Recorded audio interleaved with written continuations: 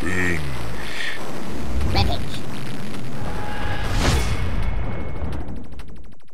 Hey everyone, welcome back for even more brand new content about that show where karate can mean the difference between life and death, Cobra Kai. Warning, beyond this point, there are some serious spoilers for people who are not up to date on the once YouTube Red, now Netflix Cobra Kai television series along with the Karate Kid movies. In this video, we're going to give you our binge breakdown of another brand new sneak peek of Cobra Kai Season 3. We're also going to go over a higher quality extended version of one of the newest teaser ads with footage we've never seen before that just started to show up online the last few days. Finally, we're going to talk about some updated info we got directly from one of the creators of Cobra Kai about the Season 3 finale. First, let's take a look at this sneak peek that Netflix just dropped. The opening shot shows Daniel and Chozen in their reunion flower shirts in Chozen's dojo. Chozen looks suspicious of Daniel as he approaches this wooden box we've seen in some of the other promo shots.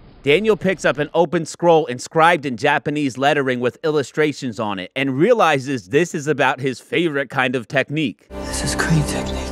That kick basically changed his life, so this is a cool holy grail kind of moment for Daniel. Chozen explains how he came to be in possession of the Miyagi-Do scrolls. Your sensei's father taught my uncle. Sato taught me.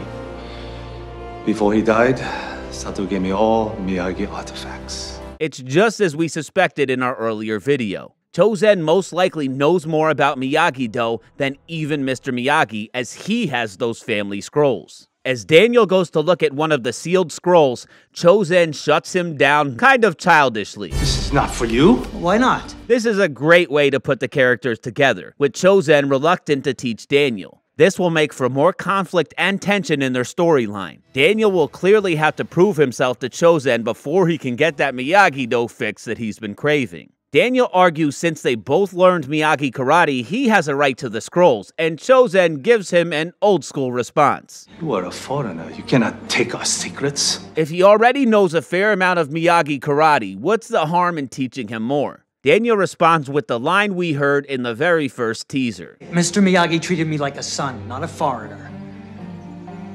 He wouldn't keep any secrets from me.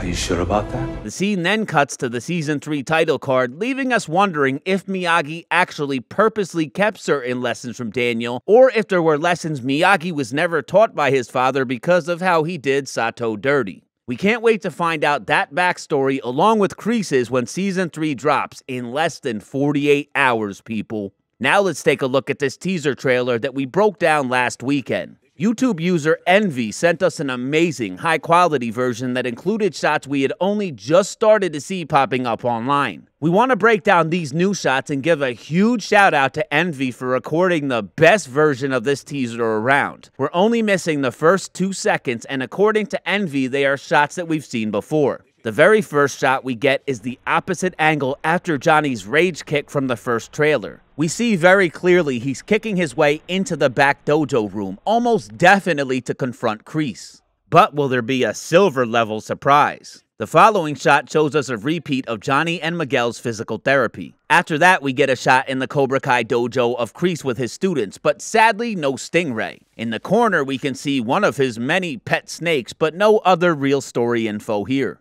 The next shot is a huge surprise of Carmen kissing Johnny. This doesn't seem to be one of Johnny's fantasy sequences, but you never know. After that recent sneak peek, we suspected they might get back together, but here is pretty good evidence. The next title, labeled Slithering, appropriately shows us a bunch of different snakes. They really upped the snake factor this season from 0 to 100. The next shot is the first one of the first version of the teaser that we've already broke down, and you can check that out in our end screen or click on the card above. Here's the new version of that teaser in its entirety. Training, sweating, scoring, slithering, flexing, crashing, trekking, hunting, lurking, battling, flirting, fishing, cruising, shredding, trashing, kicking, punching, and even more kicking.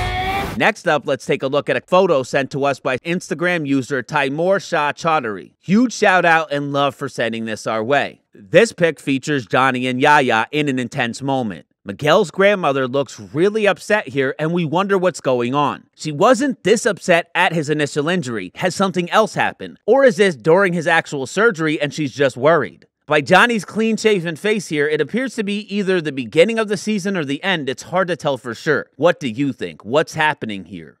Finally, we want to talk about some news we found on the Twitter of Cobra Kai creator Jon Hurwitz. In a previous video, we had reported on a set of writing credits given to Karate Kid creator Robert Mark Kamen for the penultimate and finale episode of Season 3. We thought this was a potential game changer, but sadly, Jon Hurwitz let us know that Kamen actually was not the writer for either of those episodes, or any other. We sent Hurwitz the link for the official WGA site, and he genuinely seemed surprised, so unfortunately, that story was actually some kind of hoax. However, after all the positive reviews for the season and a flawless Rotten Tomatoes score, we believe the finale is still going to get Robert Mark Kamen's seal of approval. However, if Miguel dies, we will definitely still riot. Thanks so much for watching our videos, everyone. As always, we're on the lookout for any new promos or insider information to help prove or disprove all the rumors and theories out there about our favorite show that slithered its way into our hearts, Cobra Kai. Please let us know your thoughts in the comment section below. Follow us on Instagram and Twitter at Binge Rampage. Click the notifications bell for our channel so you can see our next video as soon as it comes out. And don't forget to subscribe. Listen, you don't want to learn this Brazilian garbage.